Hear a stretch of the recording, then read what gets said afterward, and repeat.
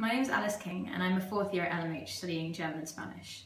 And I recently had the opportunity to speak to Beeban Kidron, who is a director who has done um, loads of different things actually, from a documentary of the Greenham Common protests to Bridget Jones, um, to her more recent work, which is a documentary looking at how the internet is changing and how this affects children of our generation. And the really exciting news is that she's going to be a visiting fellow at LMH. Um, so I had a few, well, I had a chance to ask her a few questions, and this is how it went. Um, first of all, welcome to LMH. Um, Thank you. We're really glad to have you. Um, so what are you working on at the moment? At the moment, I'm designing a whole lot of tech tools that are sort of associated with the campaign that I'm doing around children's rights online. Um, and with my other hat on, I'm making a film about Queen Victoria and her Muslim servant. Okay, that's quite a spread. um, and so, what is is there a, a, united driving force between both of these projects, or what, what's pushing you in these directions?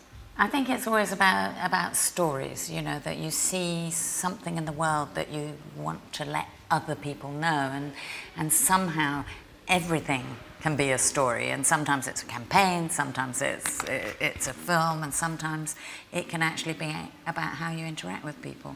But I think for me the driver is always I've seen something and I want the world to know. Okay, interesting. And, and I've noticed with a lot of the stories that you tell, in some way or another, young people end up being quite involved, um, particularly with your internet campaigning at the moment. Have you noticed that? Do you push yourself towards this, or does it? Yeah, I, I actually feel that you, the young get a bad rap. And I particularly think that um, right now, there is something about political capital that means that the adults have it all, you know. So I'm actually a big believer in 16-year-old voting. I actually think kids should have agency, and I, and I think that some of the laws that we've seen happening that, that keeps them at home, the, the college fees, etc., etc., I think it's all absolute shite. and, and we really are giving that generation a, you know, we sort of robbed the bank and left it empty. So I think that I do have a passionate feeling that young people should be given all the power they can so that they can go on and fight a much bigger battle than we can fight on their behalf. Wow, that's um, that's a brave endeavour.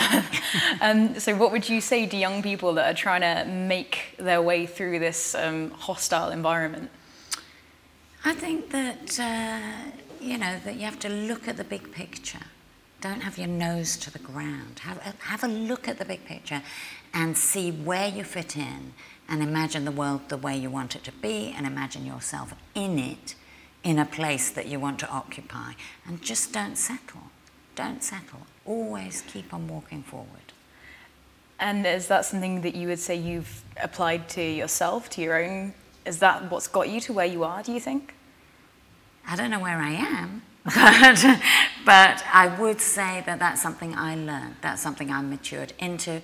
And I would actually probably say that if I had been more confident when I was young, if I had been more certain that that was the way you could and should behave, I would have been glad of that information. So I think maybe that's one of the reasons that I spend a lot of time around young people, campaigns around young people, and am very interested in what they're up to, is I think that the earlier in your life you get determined, the earlier you get the tools of, of confidence and, and the processes by which you can find your voice, the better life you lead. Wow. And um, so if you could since you're taking a kind of reflective stance on this, if you could pick one kind of defining moment of your life, if you could pick one period or maybe one event, what, what would you pick? I think when I was very young, I took photographs. I took them from the age of 11, and when I was about 13 or 14, someone who was a professional photographer looked at my pictures and uh, she went, you know what? You're really good. And I think that moment of having an adult who was not a parent and not a family member, but having an independent adult look at me and look at something I'd done and say, You're good. I think that gave me a sense that I had something to offer. And I think maybe that comes a bit late for a lot of people. And I certainly know a lot of people sort of in the in the transitions, you know, from, from, from being a teenager to being an adult, from coming to college to being outside, they, they struggle with, you know, a bit, who am I, what am I for? And I, I just think I was very lucky that very early on someone went, you're good. And I think people need that and they need to carry it with them. And that's where you come in now. And that's where you come in with um, being a visiting fellow LMH. Well, I hope so. I hope you are all good. Otherwise, why am I here?